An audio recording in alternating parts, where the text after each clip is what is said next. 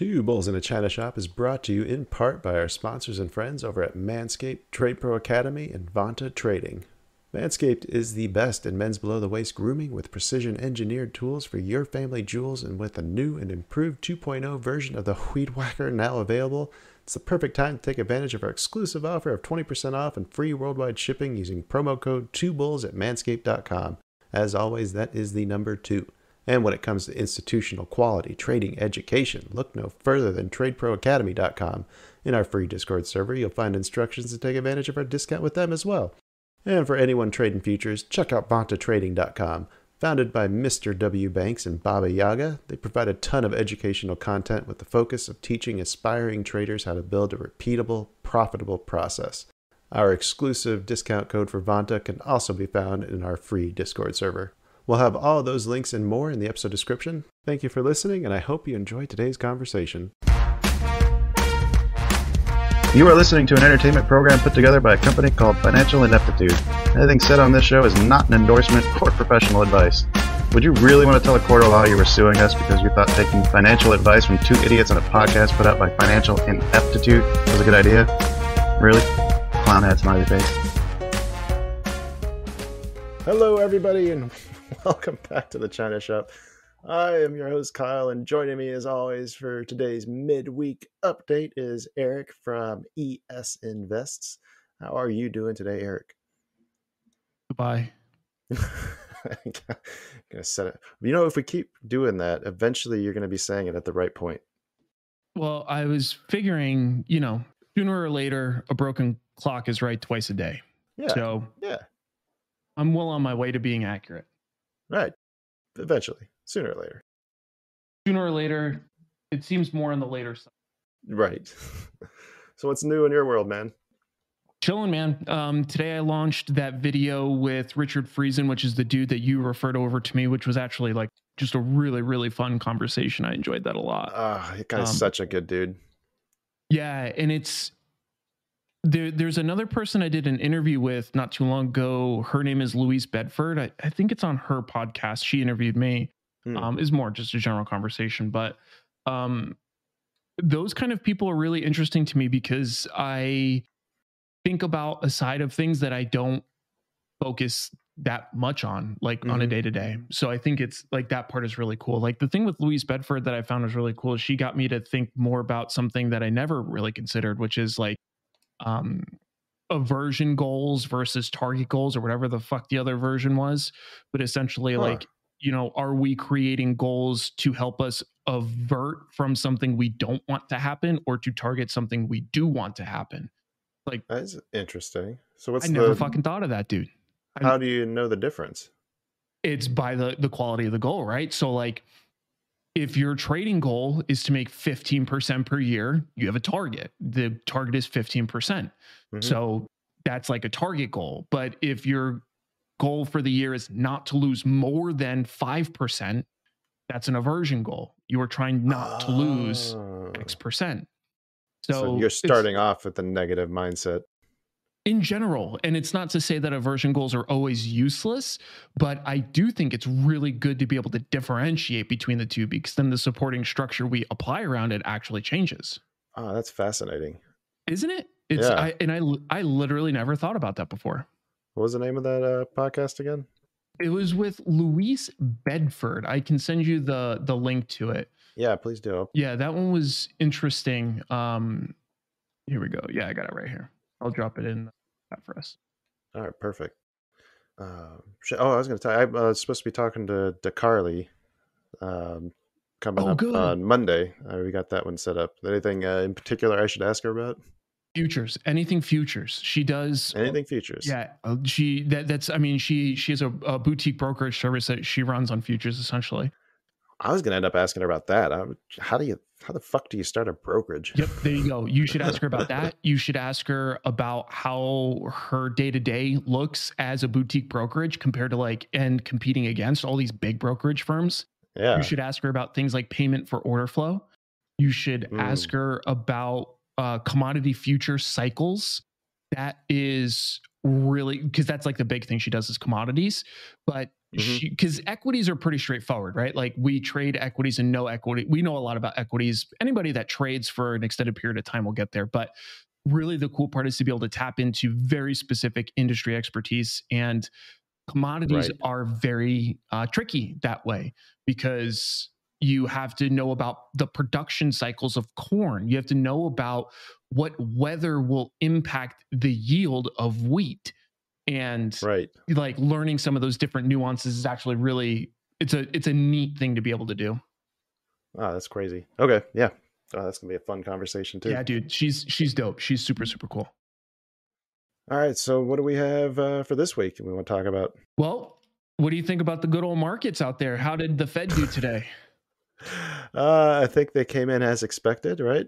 Yeah. Quarter quarter bip rate hike I think the the rate hike was in line with expectations. The main thing that was a pretty noteworthy change was the language forecasting out to the 14 June yeah Fed meeting, yeah. which essentially indicated leaning more towards um, a pause because there was right. one specific phrasing that we wanted to hear, which is something. I've got it right here if you want to hit, if you yeah. want the actual phrase.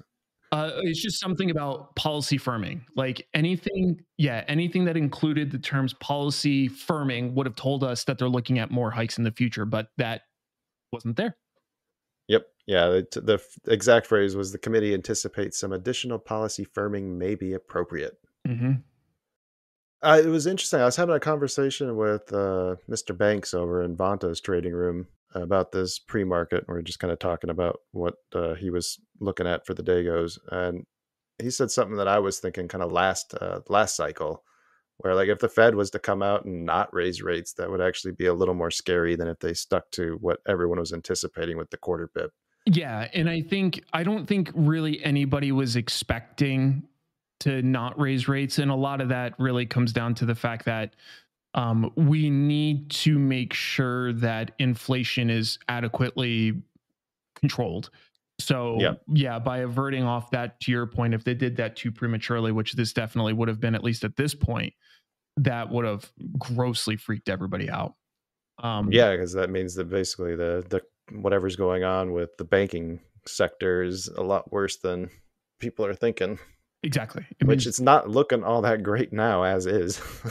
it means that we're we're breaking everything. Yeah, which I did see. If uh, I did see that looked like First Republic got uh, seized and sold off to J.P. Morgan on Monday, and this comes you know a few days after you were just talking about the the credit crunch that's been going on. Yeah, and it doesn't look like the credit crunch is going anywhere. Um, I I think we're just continuing to see more of the impacts of raising rates. I mean, mm-hmm. jack jacking up rates essentially five percent in what less than a year and a half. Right. Um, it just it adds a shit ton of pressure. And my hypothesis is actually that we're just starting to see the actual effects because you know we didn't really get to a crescendo until the end of last year. So I think that's also why we're seeing kind of a mixed earnings cycles here where we're hmm no big surprise seeing large cap doing well. Large cap tends to do well here with a lot of pricing power and then small cap growth tend to not do so great. And that's, I mean, exactly what we're seeing. The S&P 500 as of Monday, I haven't looked at, oh, I look, I don't know why I would quote you as of Monday, just because I conveniently looked at it then. Um, so the S&P 500 year to date today is 6.2% up and IWM, the Russell 2000 small cap is down 2%. So big variance there. Yeah. Um, and actually, as of Monday, that gap was about the same because the S and P 500 was up eight percent, and the S and P 500 was about, uh, or uh, IWM was about unchanged. Mm-hmm. So yeah, we're seeing that relationship play out. Yeah, you've been shorting uh, IWM for most of the year. At least it seems like every time I talk to you, you're talking about a position you have on there. If you were still holding, yeah, it's a covered strangle, so it's it's actually bullish in nature. Uh um, but it's specific. It has short components to it. To your point, mm-hmm. so it almost always will. Like right now, I have like what I would consider like the full covered strangle. A lot of times I trade the individual legs on it, but right now I'm long shares.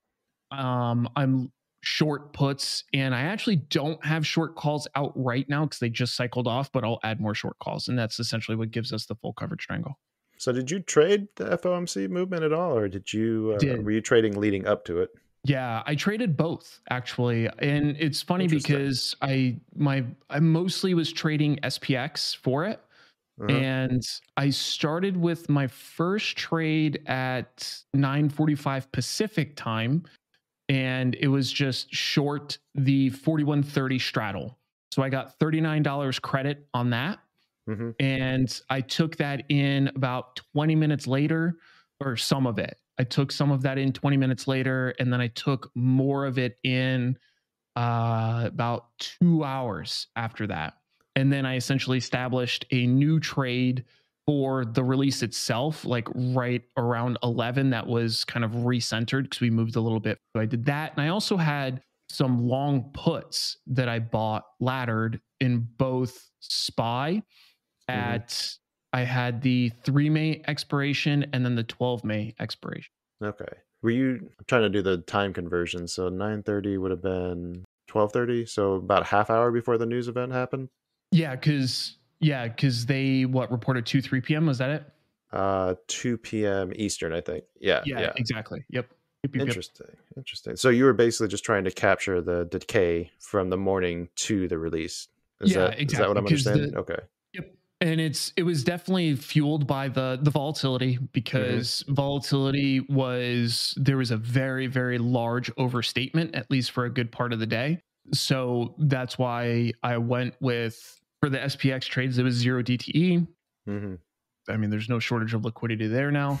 Yeah, no and yeah it, it was to capture both the time but through volatilities All right. Hey everyone, Future Kyle here with a sneak peek of my upcoming conversation with Blaine McCauley, host of the Penny Lane podcast. you know, fairly quickly, it was just my whole life, all I could think about, all I could talk about. And I was at the beach with my sister and my brother in law in the summer of 2021, had a couple drinks, and we were having dinner. And my brother in law said something about stocks or whatever. And I very sheepishly, I'm like, Oh, like, uh, Stocks? do you do you do any trading? And he was like, Oh, hell yeah! Like, I'm really into it. hmm And then, it, you know, we had a six hour conversation about it. And during the conversation, I was like, this is just magical. And I want to talk to you forever about stocks. Right. Let's do a podcast. And we just started up very casually, uh, called it the Penny Lane Podcast. And I wanted to name it that because I felt like, you know, Penny Lane, the very famous groupie from Almost Famous, I was like, that's who that's what I feel like I am with like trading. Ah, I'm like the groupie. I just assumed you were a Beatles fan. Um, you know, I'm as big of a Beatles fan as sort of the next guy, but not not like I'm you know, I'm much more of a fan of other people, but I am a big fan of her. Oh shoot! I might have to rewrite the uh, the outro I wrote for this then. Oh, okay. okay. Is it a is it a Beatles reference? Maybe a little bit. Maybe a little bit. Full conversation be available on May 8th. If you haven't heard by now, Manscaped now sells beard products. That's right, once again revolutionizing men's grooming with the brand new Beard Hedger Pro Kit. From a beard trim to a fresh shave, the technology behind the Beard Hedger Pro Kit allows you to shape your signature beard look. Now you can finally use Manscaped products to make your drapes match your carpet by going to manscaped.com and using code 2bulls for 20% off and free shipping.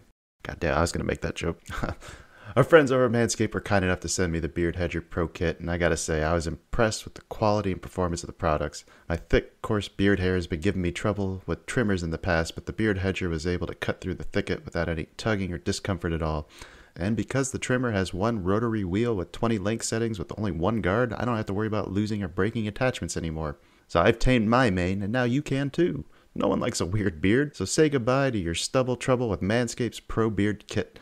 It all starts with that beard hedger that I mentioned. Thing's a juggernaut of fixing faces. Not only does it have the trimmer with the rotary wheel that gives you the 20 hair cutting lengths just the one guard, it's also waterproof so you can shave in the shower and avoid all the hair in the sink. The titanium coated T blade is tough on hair but smooth on your face, leading to a single stroke efficiency that brings satisfaction one stroke at a time. Phrasing. The Pro Kit doesn't end there, though. They also created four dermatologist tested formulations for your post trim care. First is the beard shampoo and conditioner. Gotta remember that all your hair is different. Beard hair, as I mentioned, is more coarse and easier to damage than the hair on your head, if you have hair on your head.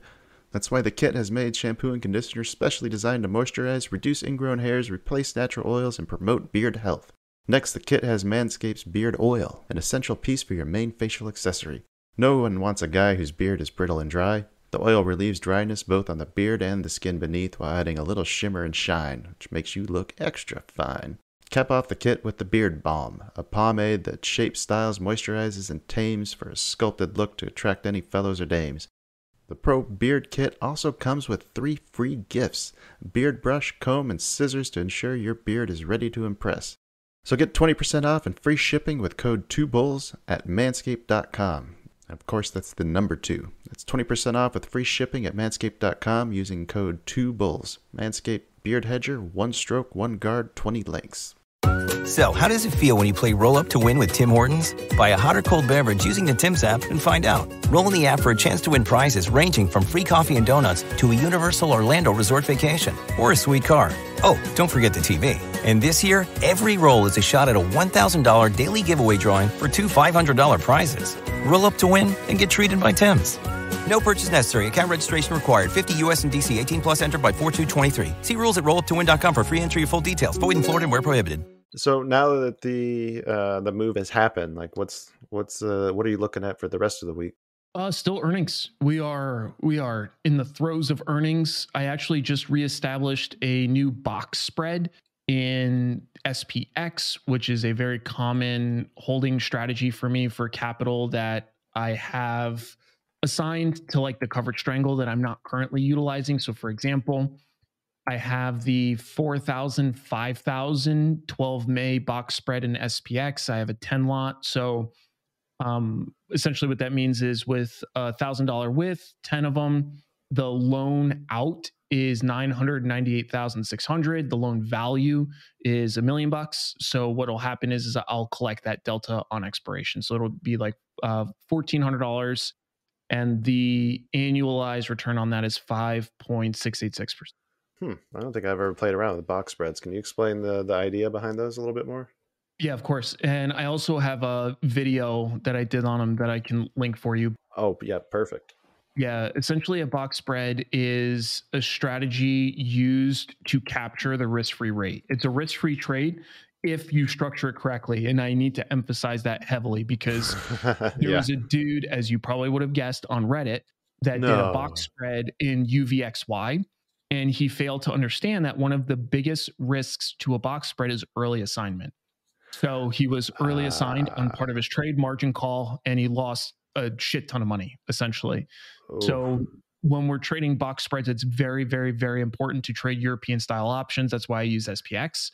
oh, so they can't close them early. The, exactly. There's no early assignment and they're cash settled, which is another beautiful part because Yeah. you can hold it through expiration. And if you have legs, you're going to have legs that are in the money. It doesn't matter. You're not going to have any sort of resulting position. It'll just be moved to cash. That's how they make their money.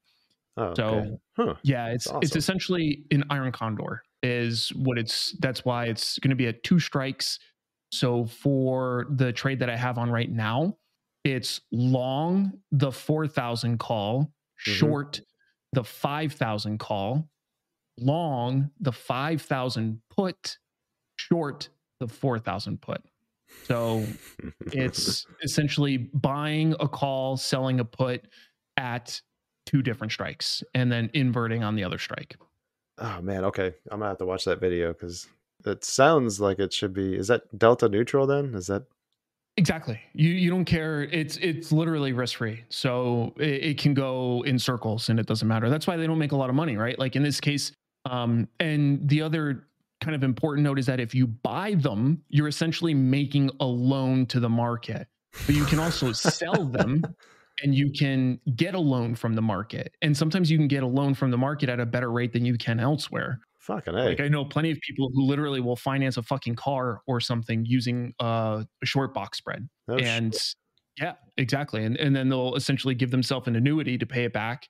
And yeah, you can make out better that way. It's not super common, but the point being is the reason why box spreads are great compared to short-term T bills or all these other things is they are um, variable so you can set up the specific time frames that you want like i said what i use is the capital that i have committed to other trades Mhm. so if i sell a cash secured put I don't need that money up front. But if it's just sitting there, it's not doing me any good either. But it, I need to have it available if I get assigned. Mm-hmm. So what I do is I typically put that money in box spreads so that I'm still earning the risk-free rate on that money. And if let's say I get assigned, um, I typically time it so that my expiration for the box spreads is before expiration for the short puts. Okay. And then if I had the unfortunate scenario where I'm assigned early and I essentially would use margin, and then it's a math problem. Do I want to just hold the shares on margin that may or may not cost more than a risk free rate? Typically, it's going to cost more to hold them. Mhm. And if it's the case, then I can just neutralize the box spread, take the money out, and then apply it to the position. So it's like a very variable way to still get a good return. Because if you look at like CDs and stuff like that, they don't pay that. And if they do, you have to go out two years. Right. And you still have relative liquidity with the CD, but it's not the same as a box spread because with a CD account, you pay a penalty if you close it early, typically, you know, X number of months of interest earned. So then essentially you gain nothing. Whereas in the box spread, it's not the case. Hmm. All right. Yeah, I'm gonna have to check out that video. Yeah. Going on to the the earnings then. So what's coming up uh, for the rest of the week? Like what what are the big ones? So I focus mostly on S&P 500 earnings because I'm generally trading volatility. So Mhm. after the market today, we had a couple a couple that I was watching like Qualcomm, they reported and they essentially didn't do great, but I actually think that will still be a profitable trade for me.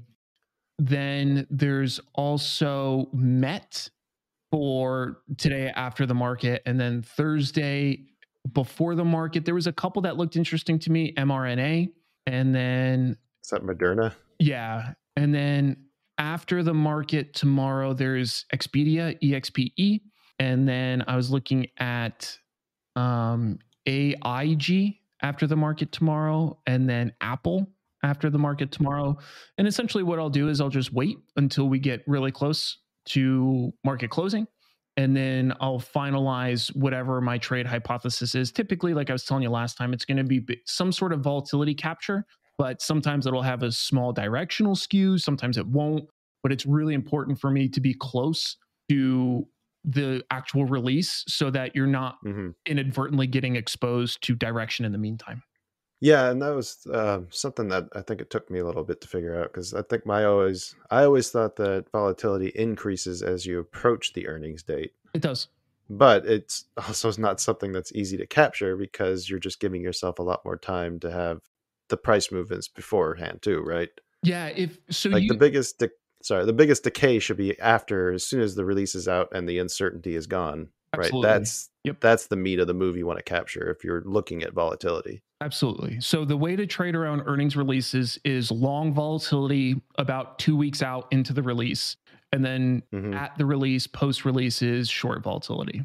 Is really the Mm. the playbook. But if you do long volatility, like if you buy a straddle, for example, you have to you don't have to, but it's silly to buy a straddle and not gamma hedge. That's one of the benefits of buying a straddle is to be able to gamma hedge essentially to try to pay your theta decay. So And with the gamma hedging, you're talking about shifting your the strikes that you're using. No, no. The base position would remain the same. You would use an underlying or a surrogate underlying to Gotcha. Okay. continue to Okay. neutralize the deltas. So when we first place, let's say, a long straddle, our gamma should be about flat, but hmm you want to maintain. Yeah, it's sorry, it's kind of a retail traders very commonly would call it delta hedging, but really what you're doing is gamma hedging. Like at the end of the day, that's Okay. I actually what's that was my- happening yeah. because delta is it's fleeting delta is there and then it's gone and a lot of that is because of gamma so that's why Mhm. people who are trying to maintain direction neutrality were way more concerned with gamma than delta Interesting. Great stuff today. I don't didn't expect to get into such a nuts and bolts type conversation, but I don't know. That's uh that's why I like talking to you.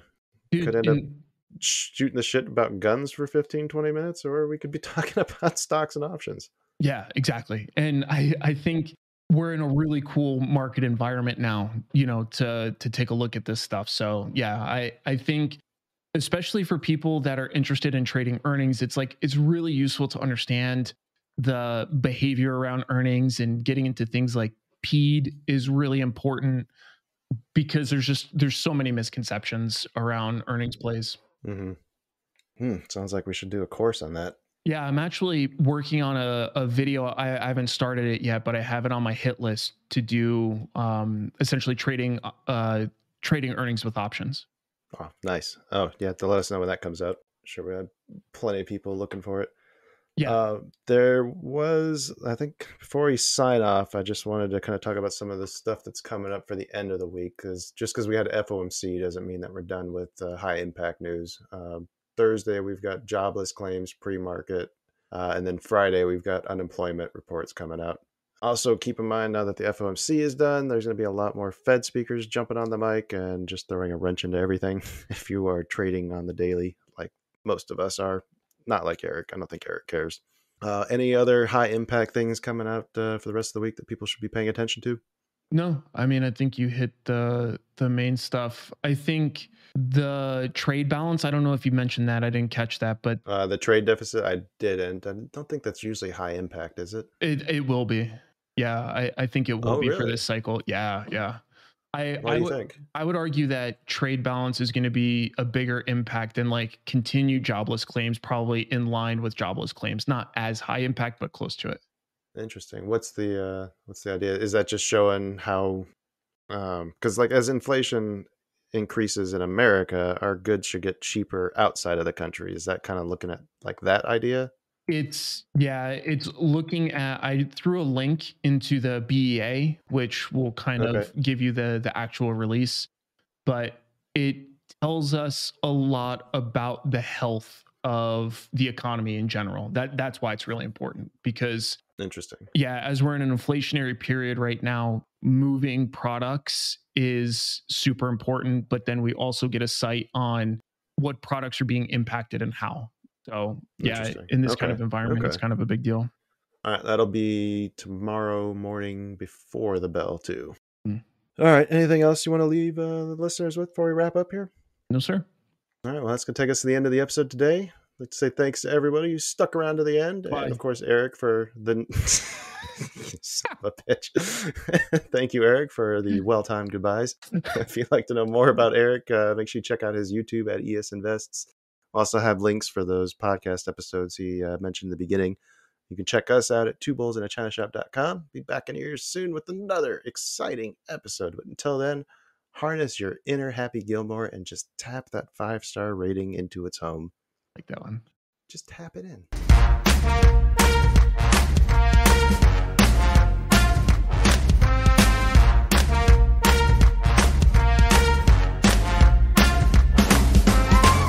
Two Bulls in a China Shop is an entertainment program, and all thoughts and opinions expressed in the show belong to the hosts and not of any company. They are not intended to provide specific advice or recommendations for any individual or on any specific security or investment product. It is only intended to provide entertainment about stocks and the financial industry of trading. If you make trades based on what you hear in this show, you assume all risks for those trades.